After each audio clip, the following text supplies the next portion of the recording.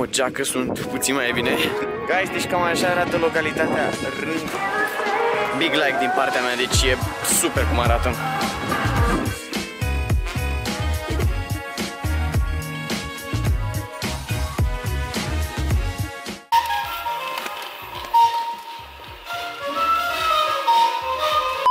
Salut retror, eu sunt Andrei și mi-am regăsit la un nou vlog de această dată o să mergem la Oradea, o să facem o mică excursie de-a lungul României până în Oradea, trebuie să traversăm toată România, așa cum spune destul de fan.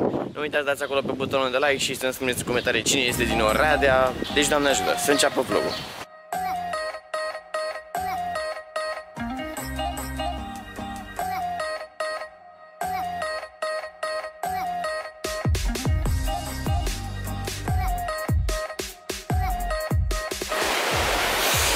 Am făcut o mică pas aici într-o localitate numită Mălaia, suntem în apropiere de Transalpina, mai avem destule puțin. Știu că în prima fază am zis că mergem la Oradea, dar am zis, bă, dacă tot mergem în direcția aia, să treci pe la Transalpina.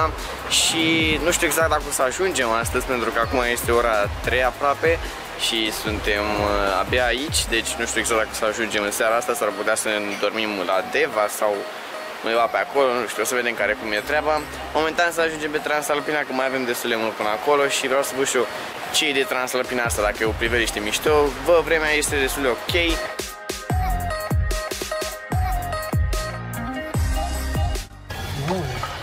Abia acum am ajuns. Bă, ești nebun! Ia uite mă, scurt update, am ajuns cred că la maximul posibil de altitudine. Cam așa arată, e extrem de fric, eu sunt în tricou, super. Oh, și lacul acolo. Nu știu ce lac e ăla, dar uh, înălțimea asta e clar, frate. Mama, dar cum se vede și e ciudat, mega ciudat că, bă, unde sunt copaci, frate? De ce n-au crescut copaci aici? Care-i treaba? Nu știu, dar eu am înghețat de fric. Am găsit o geacă, acum e puțin mai bine și am ajuns acum într-un punct. După cum vedeți, asta este punctul turistic. Cam așa arată punctul turistic aici de sus. Eu mi-am găsit acum o geacă, sunt puțin mai bine. Mamă, drum de o bandă, băiere. Ușă.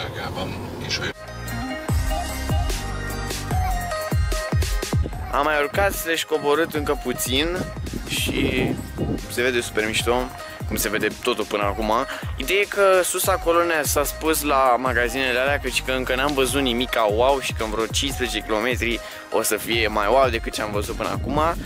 Deci, da, o să fie interesant să văd la ce trebuie să ne așteptăm, că momentan cam așa arată drumul pe care trebuie să merg facem și nu știu ce e după dealul ăsta. Guys, deci cam așa arată localitatea Rânca, este tocmai aici sus, cred că e cea mai înaltă localitate din România, din câte știu eu. Deci la cea mai mare înălțime. Uh, nu are, cred că nici benzinerie de astea, nu prea cred că au ei aici, dar e oricum super mișto priveliștea, vedeți de aici un sătuc așa frumos, oraș, că nu știu care cum e treaba, dar e destul de frumos de aici de la înălțime.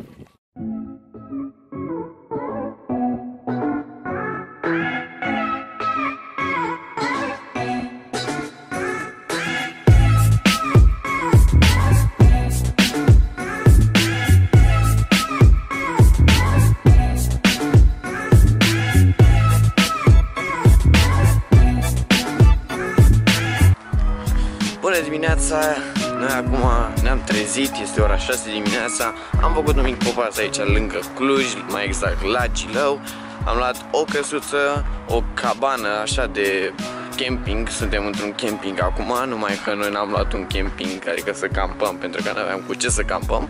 Dar am luat o căsuță destul de drăguță. Iar acum o să ne îndreptăm spre drumul nostru final, spre Oradea Pentru că n-am putut să facem aseară drumul spre Oradea Pentru că era destul de periculos și plus că nici măcar nu am fi găsit cazare acolo Pentru că am fi ajuns la vreo 12 jumate Deci da, cam așa a arătat dormitorul în căbănuță Destul de drăguț, foarte comod și foarte ok, chiar mi-a plăcut, curat, tot ce trebuie. A costat și puțin, noi aveam nevoie doar să dormim. Aici aveam o măsuță, drăguț Nu aveam mai nevoie de mai mult uh, Ca să mâncăm și noi ceva și da, o căbănuță asta foarte mică, așa de camping, drăguță. Și am meritat bani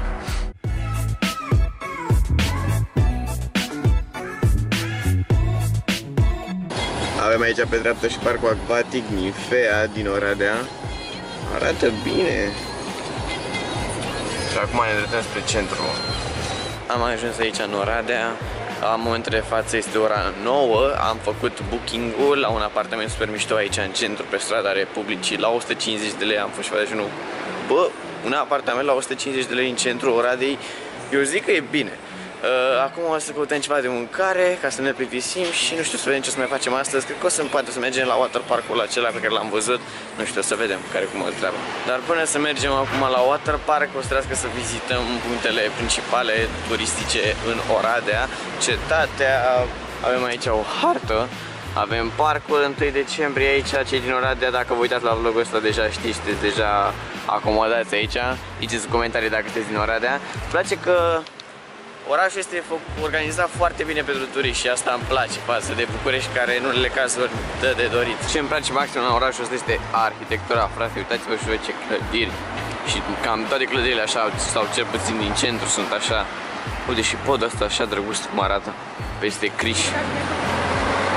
Oh my god! Piața Unirii. E clar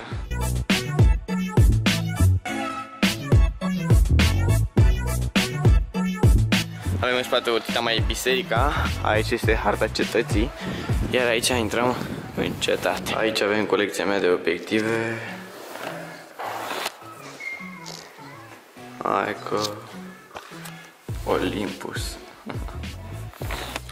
Aici avem o cameră foarte modernă cu trepied frumos. Aici o tastatură mecanică frumos, de ca de gaming. Hai că de gaming dacă tare. Și aici avem un uh, patefon Apollo. Ok. Merge asta oare? Păi ești nebun.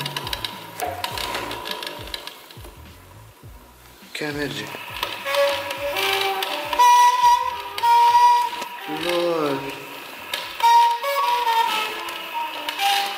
Nu cred.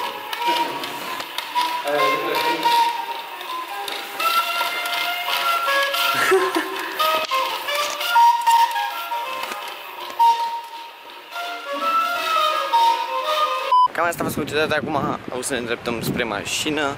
O să trebuiască să mâncăm neapărat ceva pentru că sunt mor de foame. Deci am ajuns aici la cazare și vreau să vă arăt cum arată pentru 150 de lei. Eu zic că e destul de bine.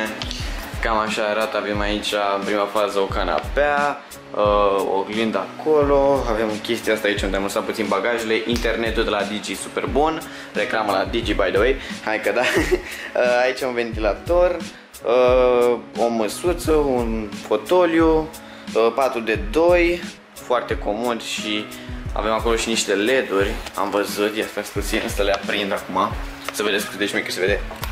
Boom! A, e pus așa aici la mișto, habar n-am de ce e pus. Aici televizorul cu ecran plat, cuplu ucis, e clar, nu e ok. Potoliți-vă guys și, uh, și acum baia, cam așa, pretty cool. O baie normală, destul de micuță, duș aici. Eu zic că pentru 150 de lei e bine. Cred că o concluzie destul de bună pe care am luat-o acum a fost să mergem la Nifea pentru că este extrem de cald afară și nu știu ce am putea face noi la ora 2 amiaza decât să mergem la un aquapark. De ce nu, dacă n-am mai fost și de obicei merg la terme, la aquaparkurile din uh, București. Arată destul de mișto aici. Sunt curios să văd față de terme cum e sau celelalte aquaparkuri. E mult mai tare decât m-aș fi așteptat, guys. Oh my god. Deci asta e doar interiorul, iar exteriorul arată cam așa. Lor, frate. Deci o piscină acolo, aici încă o piscină, cred că e piscină cu valuri, chiar întreg că e piscină cu valuri. Copyright. Fiți antenă că e piscină cu valuri. Numai că e piscină cu valuri oprită, cred că. Exact. Big like din partea mea, deci e super cum arată. Deci, în concluzie, uh, parcul ăsta este super. Nu mă așteptam să fie așa de wow.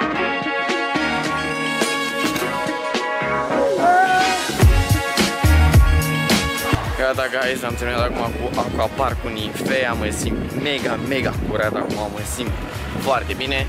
Ideea e că sunt cam obosit, pentru că m-am trezit astăzi la ora 6 ca să ajungem astăzi de dimineața aici.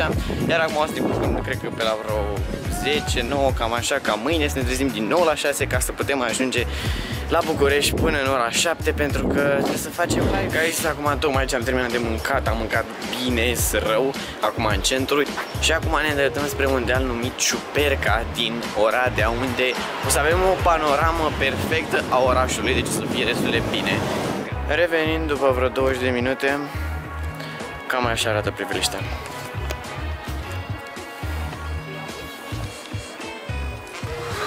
Acolo se vede și Nivea, Spa.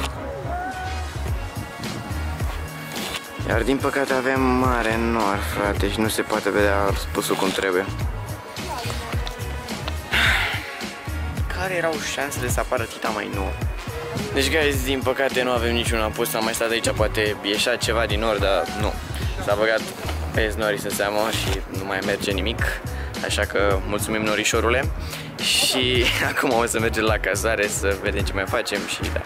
Bună dimineața, guys! Este ora 7, în momentul de față mă îndrept spre mașină pentru că plecăm Iar eu o să închid aici acest vlog pentru că nu mai are rost să mai filmez același drum pe care l-am făcut deja Așa că nu uitați de like, subscribe, clopoțel și ne auzim data viitoare, guys! Ciao!